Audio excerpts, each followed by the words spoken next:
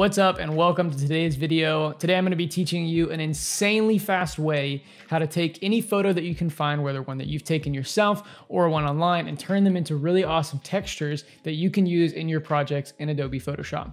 Before we get started, I just wanna encourage you, I was thinking a little bit today about humility and how we live in a culture where everyone's trying to promote themselves and make everyone think like, look at how great I am, look at how awesome I am. That's kind of the whole point of social media. Um, and I just want to say that I feel like something I'm learning is that people who are humble are the ones that actually do well. like they're the ones that people are drawn to, that I'm drawn to. And so just want to encourage you, if you are getting a little bit of a big head, just remember that you're not the biggest fish in the sea. You know, you're just one person and, uh, and I think we can all grow in being a little more humble and thankful. And I think it'll just make us better people. So that's your encouragement.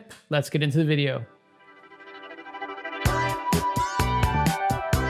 All right, so here we are in Photoshop. I have brought in this texture photo that I got from Unsplash. I'll link it in the description below in case you want to download it as well. I don't own the photo, but Unsplash is a great place to find cool textures.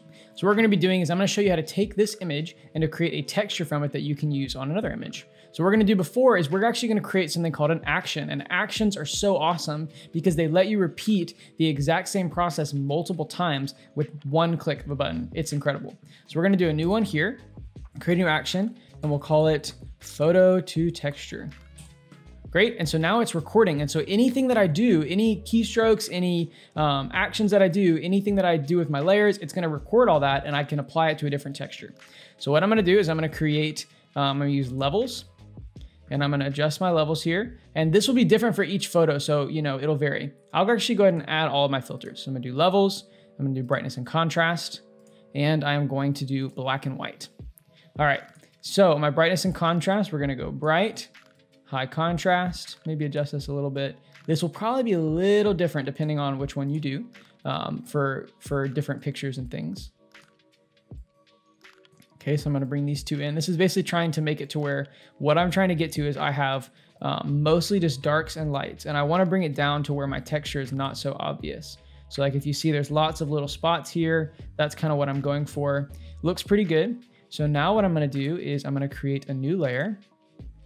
Great, and I'm gonna title this texture.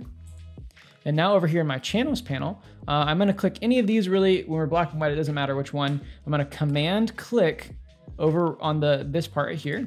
Sorry, that popped up all of my shortcuts.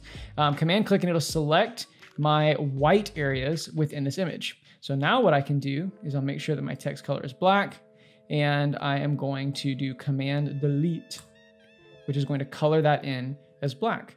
Now what I'll do is I'll hide the rest of these, and now I have a texture. I'm gonna go ahead and click the stop button here, so now it stops recording. And so if we were to say, delete all of these things and just have this again, what I can do is I can click play here, it'll go through that whole process and make a texture from scratch. So you can put any photo in here and it should work. Now what I'm gonna do is I'm gonna duplicate this into this other image I've pulled up, also from Unsplash. I can scale it down, And then at this point, what I could do is I could do my layer styles. I'm gonna do a color overlay, which is gonna color it. And I can pull one of these reds, maybe one of the lighter ones. That's pretty neat. And then also if I wanna get a little crazy with it, I can add a mask. And then I'm just gonna kind of make the texture go away when it's on top of the person. I'm not gonna be too precise. There we go. But just enough to where it feels like it's kind of behind him you know, this isn't the most incredible thing that's ever been designed, but it's cool and it's a great way to use texture in photos. So that's a really simple way. And the cool thing is this action will live here um, in any document that you open. And so find another image, find one on Unsplash, find one that you took yourself, and you should be able to apply this photo texture, um, photo to texture action. It'll work just the same.